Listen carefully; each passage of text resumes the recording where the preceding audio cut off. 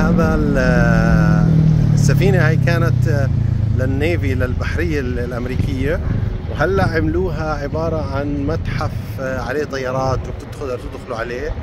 وجميل جدا المنظر هيك. رائع. خاصة للأطفال اللي بحبوا يعرفوا أكثر. هذا المتحف على ال Hudson piers يعني direct على ال pier.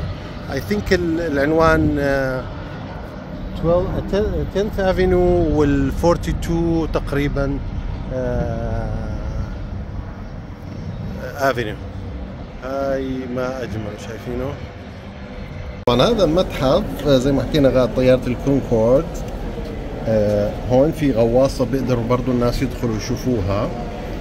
آه جوا المتحف في عدد من آه الأمور العسكرية. هون بعض الطيارات اللي أنتم شايفينها زي فوق ال F 16 و helicopters وشغلات وغاد في المارينز اللي كانت تستخدم الناقلة البحرية العسكرية اللي كانت تستخدم. متحف كبير جميل جدا بده تقريبا ثلاث أربع ساعات عشان تخلصوه. وهو موجود جنب المينا رقم 86 86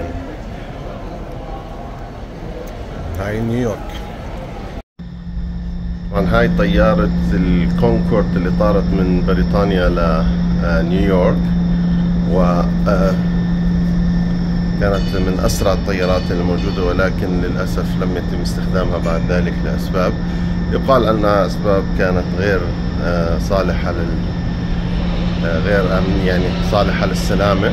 ولكن في ناس بيحكوا إنه أسباب ثانية ها هي الطائرة.